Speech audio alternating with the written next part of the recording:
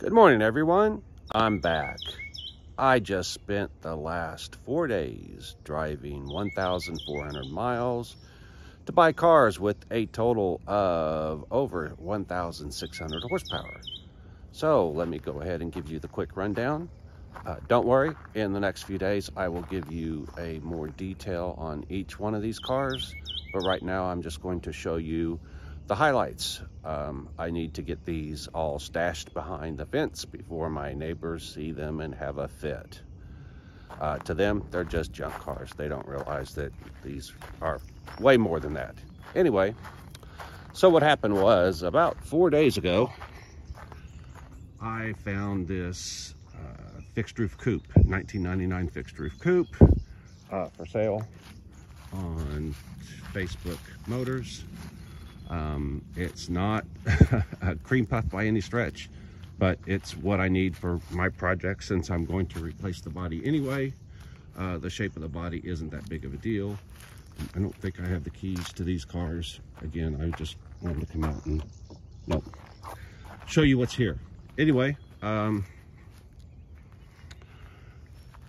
this is it. It runs, it drives. The interior is pretty much shot. Um, so, but uh, the C5 interiors are lackluster to say the least. So it's always been my intention to upgrade the interior, which means as long as the you know seat frames and all of that stuff are intact and good enough, uh, that it's a good starting point. What I'm going to do, I haven't decided. I have a lot of options. I have uh, C1 bodies being made for C5s. I do still have the um, C2 body that I could, that I'm putting on the C8 that I could modify to put on this, but that would not be a trivial project. It would be nowhere near as big as the one of putting that body on the C8, but uh, it wouldn't be as easy as putting that same body on a uh, C6. Anyway, I bought this car drove to Houston. It's 200 miles there, 200 miles back. And as soon as I got back, I jumped in a car and went to uh, North Richland Hills, which is near Fort Worth in the DFW, uh, Dallas-Fort Worth, Texas area. And I bought this 427 Corvette convertible. It has been uh, modified uh, heavily um, it actually is to the point that it idles really rough and doesn't like to idle. Sometimes when you come up to light, you wonder if it's going to keep running. It is uh, in phenomenal shape, both inside and out. Um, has some minor issues here and there, but nothing that can't be overcome. And my goal with this one is to take that kit that I have that is made to fit on a C6 and put it straight on this car.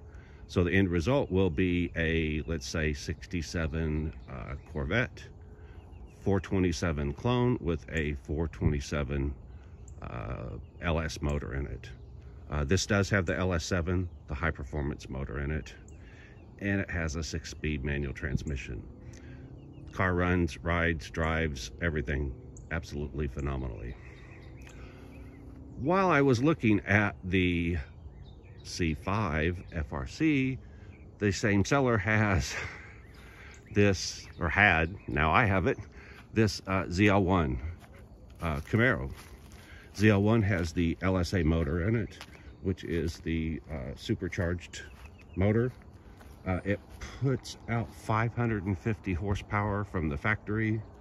Uh, this one's been modified to run on E85 and it puts out over 700 horsepower. He did have the dyno sheet with it to verify what it does. Um, it is also in really, really good shape. Not as nice as the 427, uh, but it is in very nice shape. It's kind of funny driving these cars. Um, you know, I've got the C8, I've got several C5s, I've got the C6 427 I just bought, I've got the C8s, I have not driven a C7 or owned one, but um, I was really surprised, pleasantly surprised how well this car rode and drove. one of the big differences is that all of my, or most of my other cars are convertibles. But this one, when you put the windows up and everything, it is really a nice car to drive around. Um, again, I will give more details. Uh, I don't know if I locked this one. Oh, it is unlocked. You have to excuse the mess. I literally got in at 2.30 this morning and did nothing but get out of the car and go to bed. I was exhausted after uh, four days of driving around. But you can see that the interior is in really nice shape. Oh, and I did buy some uh, ET streets and a set of wheels so that I can take this to the drag strip. Any of you that have, I'm a drag racer, so anybody that's raced knows that uh, on anything like street tires, there's no point in taking a high horsepower car. Uh, it'll just spin the tires. They're 60 foot will be horrible, which of course your 60 foot equates directly to um, your ET. But you can see that everything, I mean, I couldn't find anything major wrong with this car. That's why I bought it. I'm trying to think if there's anything else to cover. I can't think of anything at the moment. So anyway, like I said, I need to move my truck, get all these cars behind the fence. Um, that silver one I bought, I guess two weeks ago. I'm losing track of time. Uh, here locally, uh, a seller had it and I bought it. It's uh, in pretty good shape. It needs some little stuff here and there. Um, it has all of the C5 seem to have the same silly issues, and this one has those same silly issues as the rest. And again, I haven't decided which one, which body to put on this. Uh, the other thing is I do have uh, a couple of the Delahaye cars that are being built, the body in, the body is done on one, and it's the uh, Bugatti uh, 1939 type 57, uh, and it's going to be a roller for the Street Rod Nationals, but at some point I'm going to need a drivetrain for it. So one of these cars, possibly this convertible or one of the others, will be the donor drivetrain for that and then I'll probably sell the body parts.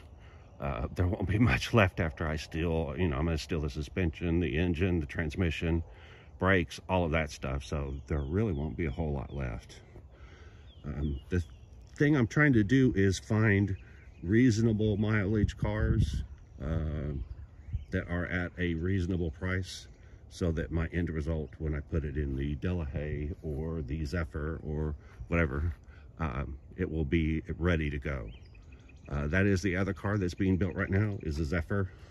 And again, it will need a drivetrain as well.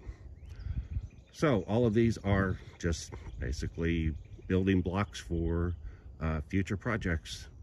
So I haven't decided what everything is going to be. And of course, if you like, subscribe, and hit that alert, you will know as soon as I do what in the heck I'm doing with all these cars I'm buying. All right. I hope you have a great day and I will see you next time. Bye.